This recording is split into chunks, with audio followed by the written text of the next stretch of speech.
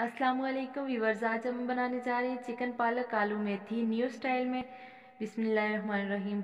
हमने पालक एक बंडल लिया है, एक बंडल हमने मेथी ली है, दो बड़े साइज़ के आलू लिए हैं, इनको अच्छे से वॉश करेंगे। चार बड़े साइज़ के टमाटर लिए हैं, इनको भी अच्छे से वॉश कर लिया। और हम पालक को अच्छे से वॉश करेंगे कटिंग से पहले। कटिंग से पहले वॉश करने का फ़ायदा ये है कि एक तो कटिंग ईजीली होती है, वॉश की हो और दूसरा ये कि जो रेत मट्टी होती है, वो बहुत इजीली साफ़ होती है और बहुत अच्छे से साफ़ होती है। तो इसको कटिंग के बाद भी वॉश करेंगे। ये देखें ऐसे। छन्ना नमा कोई बर्तन ले लें और उसमें इसको डाल के पानी खुश्क होने के लिए रख दें। हमने आधा किलो चिकन लिया है, दो बड़े साइज़ आलू, चार टमाटर बड़े साइज़ के एक बोथी लहसुन की दो बड़े चम्मच अदरक का पेस्ट आधा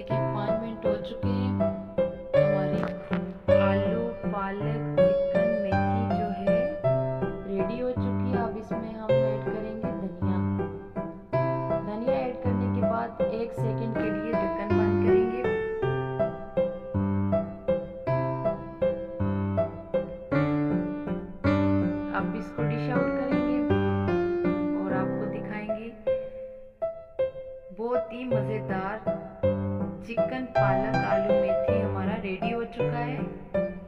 इसी के साथ